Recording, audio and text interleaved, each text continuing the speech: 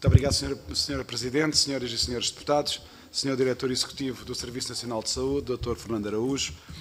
Quero começar por lhe dizer que concordamos consigo nas suas recentes afirmações em reconhecer que o SNS está num ponto crítico, assim como concordamos com a sua consideração de que o Decreto-Lei do Trabalho Suplementar dos Médicos do SNS era inaplicável, eh, o que talvez tenha levado o Partido Socialista a chumbar a nossa proposta de ser feito um relatório da sua execução, quer em termos de ganhos assistenciais, quer de impacto financeiro.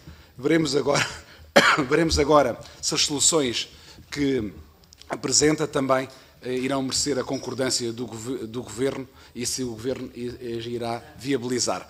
Quanto aos serviços de ginecologia e obstetrícia, cabe em primeiro lugar notar que foi finalmente divulgada a proposta da rede de referenciação hospitalar, um, um documento cuja divulgação o Partido Social Democrata há muito vinha eh, reclamando e que contém propostas que justificam aqui as preocupações e mesmo a ansiedade do, dos portugueses e, com efeito, nessa proposta sugerem-se várias centralizações de serviços de urgências, o que mais parece um eufemismo para evitar expressões como o encerramento de serviços ou o desmantelamento da rede de urgência.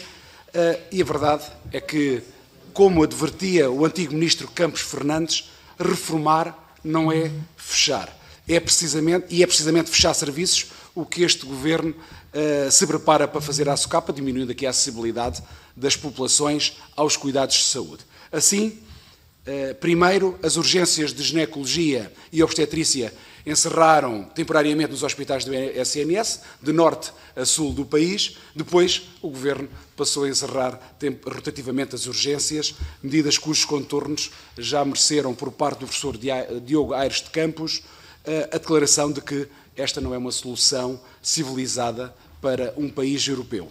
Ora, a verdade é que se propõe agora o encerramento definitivo dos serviços de urgências de ginecologia e obstetrícia de alguns hospitais do SNS. Está lá, está, está lá escrito implícito, como sejam os casos de Vila Franca, Xira, Barreiro, Guarda, Famalicão e Póvoa de Varzim.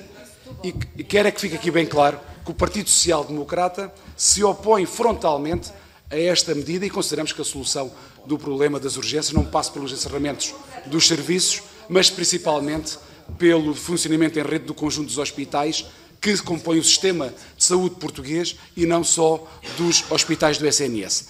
Já vai sendo tempo de dos governantes porem, colocarem as pessoas, os utentes, à frente das suas uh, agendas políticas e de perceberem que o sistema de saúde português só é sustentável se os diferentes setores colaborarem entre si e se orientarem todos na mesma direção. Pergunto assim, que soluções está a aconselhar o Governo tomar para este tipo, para este tipo de problema nas urgências e como tenciona resolver o problema do programa de qualificação dos blocos de partos do SNS, que tem uma dotação de 10 milhões de euros e, e as propostas das candidaturas dos hospitais ascendem a 37 milhões de euros, quase o quadruplo da verba disponibilizada.